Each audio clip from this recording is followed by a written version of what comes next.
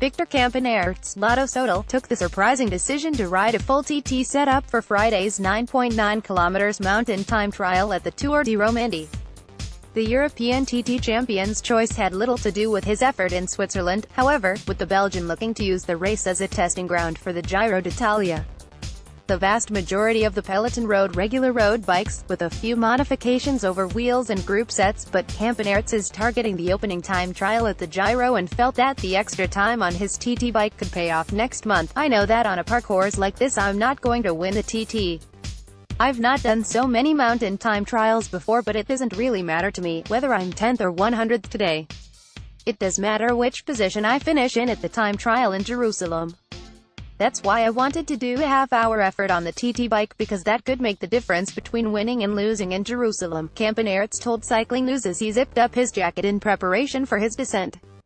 The Belgian had been in the break on stage 2 and was instrumental in setting up teammate Thomas De Gendt for the victory.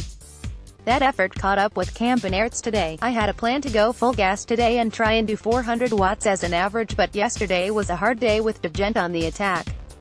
I started today but after 5 minutes I knew that I was fucked. From there, I just tried to make it up the climb. My legs were so bad. I can't really say any more. From here Campenaerts will go home as planned, despite two stages still to race in Romandie. Lotto Soudal rider is clearly determined to fully focus on the opening stage in the Giro. I leave tonight and head to Belgium for my recovery. I want to be fresh for the Giro had a really good race here and had really good sensations in the legs, and I'm looking forward to the Giro. Campenaerts finished 125th on the stage but was outside the time limit.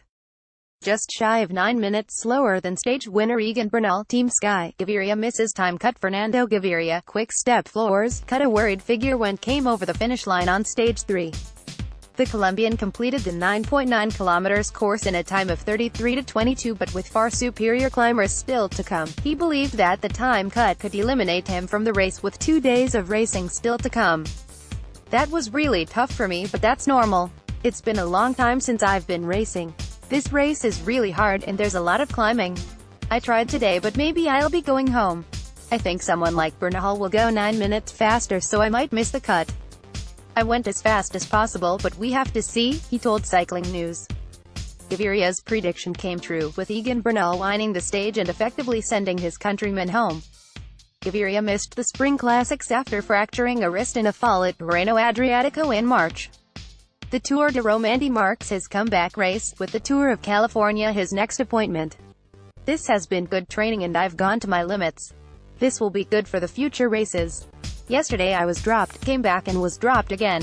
Came back but had nothing for the sprint. Boom targets Tour de France Lars Boom continued his comeback from heart surgery, with a dog ride at the Tour of Romandie. Last year's Tour of Britain winner returned to racing in March of this year, and despite an understandably slow start, he is beginning to turn a corner.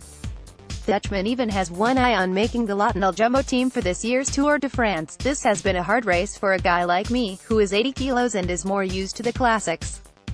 If I can finish tomorrow's mountain stage then I think my level will improve.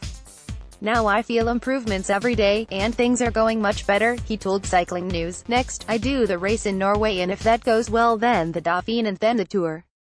I need to get a good level for that.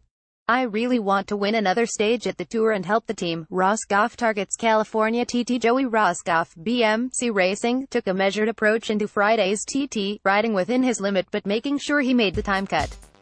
The U.S. national time trial champion heads to the Tour of California next month and will be looking to produce a quality result for the San Jose, Morgan Hill stage. I rode today with Saturday's stage mountain in mind. The first climb tomorrow is crazy hard and I'll need help to get over that, he told Cycling News. Rosskopf finished the stage in 84th place, 529 down on stage winner Egan Bernal, Team Sky, but the Tour of California remains the next major target. After this, I go to California and we have a super team for that but our ambition there is to win the GC, and I'd like to target the TT there because it's long and flat.